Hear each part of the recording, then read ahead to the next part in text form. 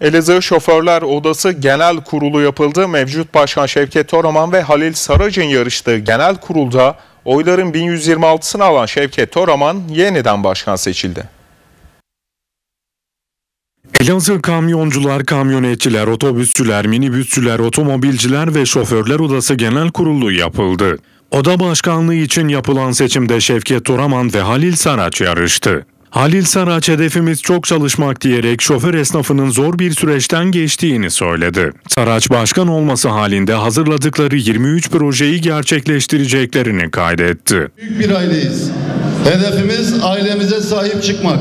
Hedefimiz çok çalışmak, kaliteli hizmetle ailemize olması gereken yerlere taşımaktır. Şu an gerçekten şoför esnafımız zor, umutsuz ve maddi yetersizliklerin hüküm sürdüğü zamanlardan geçiyor. Diğer projelerimizi hazırlamış olduğumuz 23 tane projeyi tek tek Allah nasip ederse gerçekleştireceğiz. Ben burada hizmet için adayım. Şevket Toraman iki yıl boyunca oda olarak elimden gelen gayreti verdim, vermeye de devam edeceğim dedi. İki yıl bu şehirde Türkiye sıkıntı yaşadı.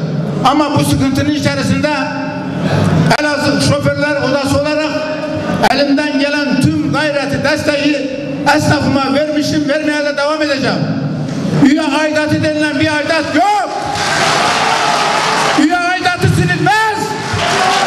Üye aidatı ödenir. Ödememişim kimse varsa burada söyleyecek. Konuşmaların ardından oy kullanımına geçildi.